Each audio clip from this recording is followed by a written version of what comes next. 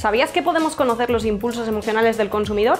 Con técnicas como el reconocimiento facial o técnicas como Sociograph podemos averiguar cómo reaccionan ante nuestros estímulos para mejorar estrategias de marketing y de comunicación.